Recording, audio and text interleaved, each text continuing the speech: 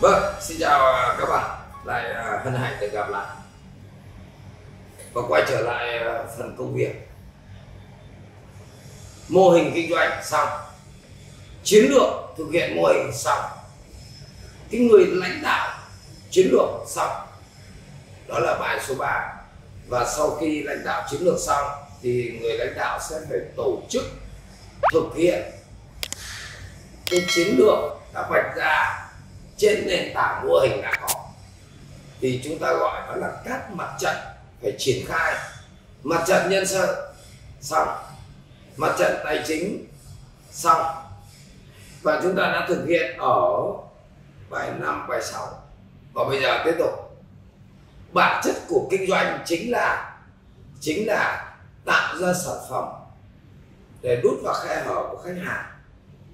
Sau khi đút được rồi thì phải có năng lực cạnh tranh để đảm bảo rằng sản phẩm của mình đút được vào khách hàng cho nên ở bài số 7 này, chúng ta giải quyết tiếp tục mặt trận tiếp theo, mặt trận marketing. Và marketing được đặt trong bối cảnh của bối cảnh 4.0 một cách nôm na được hiểu là marketing hiện đại và chúng ta không dùng chữ hiện đại để nói cho nó sướng cái miệng. Là marketing được đặt trong bối cảnh của toàn bộ bối cảnh đã thay đổi với một cường độ cạnh tranh cao hơn rất nhiều. Cho nên ở đây không phải chữ hiện đại là hiện đại mà nó là hiện đại. Nó ngược lại với marketing truyền thống. Cho nên ở đây thành phần người học tôi nghĩ rằng chúng ta đều phải đều phải tải, tải lại hết thậm chí chậm một ngày đã thua, chứ đừng nói chậm cả một cái thế hệ thế này. Một cái bối cảnh mang tính cách mạng thế này. Vậy thì à, bài số 7 với tiêu đề là marketing hiện đại, chiến lược và hoạt động, tức là triển khai chiến lược trên nền tảng tiền rồi, nhân sự rồi. Và bây giờ làm sao? Tạo ra được sản phẩm đúng khe của khách làm sao đẩy được sản phẩm vào khe của khách. Đấy. Và nội hàm bài giảng chúng tôi muốn triển khai cho các bạn những nội hàm sau đây. Và ở trong này sẽ tận dụng được những hoạt động các bạn đang có, là những hành vi marketing đang làm rất giỏi. Nhưng lại phải loại bỏ đi những hành vi mà nó không phù hợp. Trong đường cong kinh nghiệm thế này, thì những cái mà chúng ta đang làm tốt, nó là học rồi mà không tiếp cận cái mới tức là tính hiện đại thì chúng ta thua. Cho nên nó có cái phần tiếp theo là là cái phần bổ sung cho những cái các bạn đã làm tốt. Để đạt được điều đó thì hai ngày vẹn vẹn căng thẳng thì chúng ta làm mà với các nội dung như sau. Và tôi nghĩ rằng là cũng giống như các bài trước ấy, phải chia sẻ với các bạn. Khi các bạn cảm thấy cần các bạn cảm thấy đúng như thực tiễn đang đuối thì tôi nghĩ là các bạn sẽ sẽ thành công. Người ta không học được bởi vì người ta không nhận thức được chứ ngoại phải tại người ta không không học được. Nội hàm như sau. Một lần nữa chúng ta phải khẳng định lại với nhau marketing nó là cái gì? Nhiều lắm 20 định nghĩa. Nhưng nói thật ngắn để cho người ứng dụng người ta hiểu marketing đó chính là có quá, quá trình ấy. Đáp ứng nhu cầu của khách nó là một quá trình chứ là một động tác thằng này lại hiểu marketing là quảng cáo, marketing là chăm sóc, marketing là hậu mãi. Hoàn toàn không sai, nhưng phiến diện tuyệt đối, nó là cả một quy trình đáp ứng nhu cầu của khách trên nền tảng sinh lời của doanh nghiệp. Chứ không phải tôi đáp ứng với tư cách một nhà từ thiện. Ở đây nó có hai vế, cho nên là phải rất rõ ràng. Một vế là quyền lợi, giá trị mà khách nhận được và đảm bảo khách nhận được thắng người khác và một mặt nữa là giá trị của người bán là tôi nhận được. Ở đây nó chính là quá trình tài tình trong kết hợp đó. Thì đấy chính là marketing. Và trong cái bối cảnh của hiện đại, hiện nay tí tôi nói, thì marketing ấy, nó là, nó không hề quá, nó là cái gốc của mọi vấn đề. Trên nền tảng thực thi để làm cái động tác này cho nên các bài nó gắn với nhau là vậy. Nó là cái gốc. Thậm chí cực đoan nữa. Người ta thấy nó cần đến mức ấy. kinh doanh chính là marketing. Mà marketing là đáp ứng nhu cầu của khách. Thì lập tức mình sẽ có quyền lợi của chính mình trên nền tảng đáp ứng ấy. Thì đấy là làm rõ cho các bạn marketing và ý nghĩa với một cái sự thuyết phục của tôi. Từ cá nhân đến quốc gia không làm chúng ta thua. Và đây là giá trị của một sản phẩm. 10 đồng. Cả phần vật chất lẫn phần dịch vụ. Nhưng người ta sẵn sàng mua 30 đồng, thì trong đó 20 đồng là cái giá trị cảm nhận của người mua với sản phẩm này. Giá trị vật chất 10 đồng, giá trị cảm nhận 20 đồng. Các bạn hãy hãy làm được điều đó. Một là người ta chấp nhận mua, nhưng kinh khủng hơn nữa là chấp nhận mua với giá gấp ba lần. Và người mua không hề ngu vì thỏa mãn được cái người ta cần đầu tiên là tôi nhìn thấy ông đà tôi chẳng cần suy xét tôi biết là chất lượng đạt tôi không phải là nhà quảng cáo cho công ty ông đà nhưng họ đạt đến cái chỉ số đó. Thế đấy. nội hàm thứ hai mà chúng tôi muốn chia sẻ với các bạn nếu các bạn không thích nghi được thì tất cả những anh 92, 93 tuổi chết hết thậm chí đi tù à ngánh ngáo đường cong kinh nghiệm. Lúc anh tỉnh cao và anh đang dày dạn nó chỉ thích ứng với cái môi trường anh đang có thôi. Bây giờ môi trường nó dịch chuyển theo trục hoạch thì cái kinh nghiệm ấy nó bị cong xuống thế này, nó trở nên là là vớ vẩn. Khi nó cong đến một mức độ nó chạm trục hoạch thì toàn bộ kinh nghiệm ấy tự nó nó cho anh đi tù. Càng kinh nghiệm càng chết, chứ đừng có mang cái thứ ấy ra cũng ngực. Lại còn là, mày biết tao là ai không? Cái chết nó nằm ở đó cho nên nội hàm hai chúng tôi muốn đẩy ra là cái tính hiện đại của marketing là marketing nó vẫn nằm trong khái niệm ấy, nhưng nó đặt trong bối cảnh nào thì bối cảnh là bối cảnh hiện đại. Với ba cái đặc trưng rất lớn thế này. Nó dịch chuyển rồi mà vẫn giảng như thế, vẫn làm như thế thì ắt, kết quả nó là thế, nó là tồi tệ thì bối cảnh thứ nhất đấy là cái nguồn lực xã hội trong hoạt động kinh doanh nó thay đổi hết. Đấy đấy. Nguồn lực về công nghệ, ngày xưa làm gì có. Nguồn lực toàn cầu hóa, cái chuẩn của nó là trái đất chỉ còn một thị trường thôi. Còn biên giới chỉ có khái niệm cho khái niệm dân tộc. Bối cảnh là cổ phần hóa. Làm gì có những cái thứ doanh nghiệp, nhà nước như ngày xưa nữa. Rồi tiếp tục, cái cạnh tranh ta đạt tới siêu cạnh tranh chứ không phải cạnh tranh tiếp tục là nó chuyển đổi toàn bộ cái hành vi bán lẻ. Tiếp tục cái anh trung gian trong bán ấy, nó mất dần bằng công nghệ blockchain. Tiếp theo đó là cái quyền lực của người mua nó tăng đột ngột. Tăng đột ngột. Thậm chí người ta phải hầu đến từng người. Phân khúc khách hàng là một người chứ không phải là một nhóm người chung đặc điểm nói quả tiếp theo là thông tin người dùng nó tiếp cận quá dễ dàng. Tiếp theo, người dùng người ta can thiệp vào quá trình của anh. Tiếp theo, người dùng người ta đối kháng anh. Còn ngày xưa là không thể. Người ta đối kháng anh là anh buộc phải theo người ta đến cái mức cùng cực. Không có đơn giản. Thì đấy là nguồn lực xã hội nó tăng. Thứ hai, đồng thời với nó thì nguồn lực của công ty mình cũng thay đổi. Nó cũng tăng. Làm marketing bây giờ internet, nó là một thứ quyền lực đối với doanh nghiệp.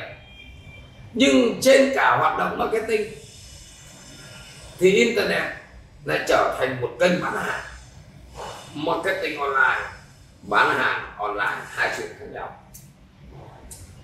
Nguồn lực của doanh nghiệp nó mở ra một chế độ thông tin cực kỳ dễ dàng. Nếu người tiêu dùng dễ dàng thì doanh nghiệp chúng ta cũng dễ dàng. Hiểu đấy. Tiếp theo nó tạo ra một cái thế hệ nhỏ xíu. Toàn bộ hành vi bán thân marketing và bán hàng qua điện thoại di động. Thế đấy. Và cái cuối cùng cuộc đua giảm phí nó, nó đạt đến chỉ số khó tưởng tượng trong bối cảnh của kinh tế kết nối hiện nay giảm phí của hoạt động, bán hoạt động marketing, giảm phí tăng đột ngột thế này, thì cái nguồn lực xã hội thay đổi, thì nguồn lực doanh nghiệp cũng thay đổi. Trong hoạt động marketing, mà đi ấn cái hoạt động marketing cũ vào thì sợ thật đấy chứ mà phải. Và đặc điểm thứ ba của tính hiện đại, để thực hiện phù hợp với nguồn lực xã hội, nguồn lực của doanh nghiệp thì nó đòi hỏi một ông giám đốc tiếp thị hoàn toàn phẩm chất phải mới. Nó đòi hỏi cái đội quân ấy là hoàn toàn phải mới. Như vậy, nhận diện bối cảnh như cũ, mà cái tình thà đừng đừng có còn hơn. Không sử dụng được nguồn lực mới của doanh nghiệp, trong marketing thì tốt nhất đừng làm nữa. Và thứ ba, nếu cả hai cái tận dụng được, nhưng ấn của anh giám đốc tiếp thị vào mà giám đốc ấy lại thực hiện bằng cái não của người cũ. Thì chắc chắn hoạt động marketing các bạn thua. Và dự kiện, nó tạo nên cái chất hiện đại của marketing hiện đại đấy. Chứ đừng có nói chung chung nữa. Ba cái. Nội hàm thứ ba mà chúng tôi muốn đưa ra trong bối cảnh như vậy, thì chiến lược marketing, một chiến lược thành phần. Và hôm trước chúng ta có chiến lược nhân sự, chiến lược tài chính để hầu hạ chiến lược cạnh tranh. Và chiến lược cạnh tranh hầu hạ chiến lược công ty. Thì bây giờ chúng ta lại tiếp tục có chiến lược marketing với bốn lối đánh mà phải phù hợp với chiến lược cạnh tranh và chiến lược công ty. Dẫn đầu thị trường, thách thức thị trường với một cái nội hàm mà bối cảnh chúng ta vừa nêu ở phần 2 thị trường ngách, hẻm ngõ và cuối cùng là lối đánh đi sau thị trường. Hãy chọn lối đánh đó và nội hàm của từng lối đánh để thích ứng với nguồn lực của công ty và nguồn lực công ty nó tạo ra được chiến lược công ty. Thì chiến lược marketing phải ăn theo nó. Đấy thì đấy là nội hàm ba. Nội hàm bốn là sau khi có chiến lược thì nó triển khai qua một cái kế hoạch marketing để mà thực hiện. Thì kế hoạch marketing nó chứa đựng những nội hàm hoàn toàn khác so với ngày trước. Từ bối cảnh của xã hội, từ nguồn lực của doanh nghiệp thay đổi, từ một anh giám đốc marketing hiện đại thì nó ra được thị trường mục tiêu chọn bằng cách nào? Chứ không thể chọn như cũ được. Tiếp theo đó là khó nhất là bây giờ. Nó nhanh như cướp như thế. Đó là tìm xu hướng thị trường marketing truyền thống không đạt. Tiếp theo, đã là các nhân tố bắt buộc phải thuộc lòng, tính theo ngày. Nhân khẩu, kinh tế, văn hóa, xã hội. Thế đấy, toàn bộ chính trị, toàn bộ diễn biến của công nghệ, nó bắt là phải thực hiện để mà điều chỉnh cái kế hoạch một cách rất là linh hoạt. Và tiếp theo đó là cái quá trình ước lượng cái nhu cầu mà nó cũng dịch chuyển. Cho nên toàn bộ cái nội hàm là sau khi có chiến lược thì kiến thức bốn đó là triển khai cái kế hoạch để tổ chức thực hiện. Nội hàm cũng khác hoàn toàn. Thì đấy là nội dung 4 trong uh, marketing hiện đại chiến lược và hoạt động là tên của chuyên đề. Tiếp theo